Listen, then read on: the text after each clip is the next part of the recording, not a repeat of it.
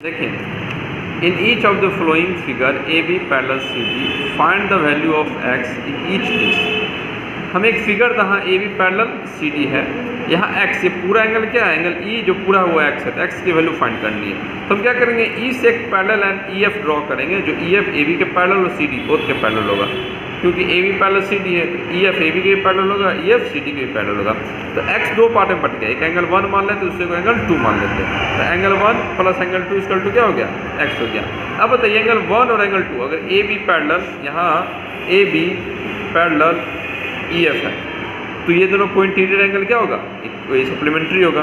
तो angle one plus one hundred four is equal to one eighty because cointerior angle तो angle one is equal to one eighty minus one hundred four is equal to seventy six again angle two और one hundred sixteen ये भी supplementary है क्योंकि दोनों को interior angle है। तो angle two plus one hundred sixteen is equal to one eighty because cointerior angle तो एंगल टू क्या होगा? One eighty minus one hundred sixteen तो angle two is equal to sixty four अब x क्या angle one plus angle two तो angle one seventy six यहाँ पर seventy six find किया हम लोग, और एंगल टू क्या सिक्सटी फोर दोनों को ऐड करोगे तो वन हंड्रेड फोर्टी तो एक्स का वैल्यू क्या होगा? वन हंड्रेड फोर्टी ओके यहाँ पर देखिए, कह रहा है कि जो ए बी है, वो पैडल है सी डी के। तो find the value of x यहाँ पर जो ए बी है, वो सी डी के क्या है? पैडल है। ये पूरा एंगल एक्स है, ये पूरा। इसको हमको फाइंड करना तो हम एक ओ ई ड्रॉ करेंगे, जो ए बी के पैडल होगा। O E parallel A B also parallel C D वो सी डी के पैडल होगा, क्योंकि सी डी ए बी के पैडल है।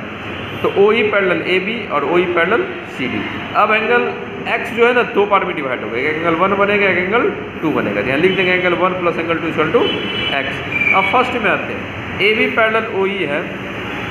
अगर A B parallel O E है तो एंगल वन और एंगल फोर्टी को इंटीरियर एंगल है।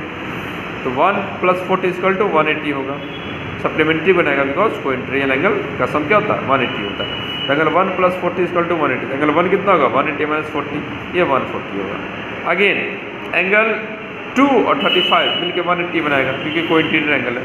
Angle two plus thirty five is equal to one eighty angle two is equal to one eighty minus thirty five ये one forty five अब angle one plus angle two one forty plus one forty five is equal to two eighty five x का value क्या होगा?